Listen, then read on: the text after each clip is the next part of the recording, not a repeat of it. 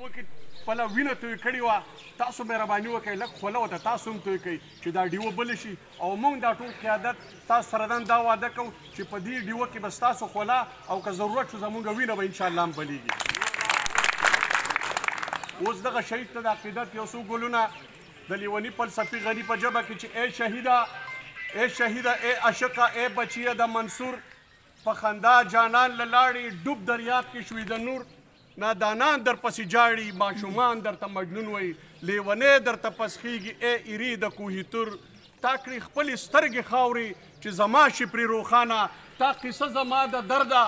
بره یوړه تر اسمانه ستا د وینو څاڅکی څاڅکی چې تا توی کو له ارمانه ما ته سرې ډیوې بلیږي په کوڅه کې د جانانه د دنیا تاجونه ځار شه ستا د بخته ستا د شانه د ليلا په زنګون پروت يې د مجنون څيرې ګريوانه خو ما راوړي تا له نه دي د سرو ګلو اميلونه د جنت بلبلان څه کا د دنيا د باغ ګلونه تا کړي خپلې سترګې خاورې چې زما شي پرې روښانه تا قصه زما د درده بره يوړه تر اسمانه ستا د وينو څاڅکی څاڅکی چې تا توی کو له ارمانه ما ته سرې ډيوې بليږي په کوڅه کې د جانانه د دنيا تاجونه ځار شه ستا د بخته ستا د شانه د لیلا په زنګون پروتې د مجنون سرې ګریوانه خو ما راوړي تاله نه دي د رامبیل چامبیل ګلونه د دنیا د جنت بلبلان څکه د دنیا د باغ ګلونه مننه